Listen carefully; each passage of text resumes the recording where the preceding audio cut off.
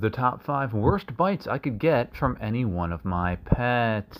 At number five, we have the West African Gaboon Viper. This snake is incredibly hemotoxic, and if you get bit, your limb will likely rot off. Not to mention just how long their fangs are, measuring up to 2 inches in length.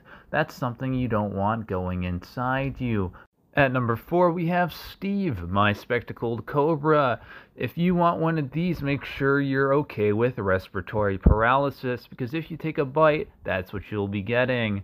Even though he doesn't like to face me when I talk to him, he's still a good boy and I love him. At number three, we have the inland taipan. There's not much to say about this, but if you take a bite, you're going to die. At number two, we have the boomslang, everybody's favorite. If you don't know by now, a bite from this guy will cause you to ooze blood from every hole in your body. What a wonderful time. And at number one, we have Lil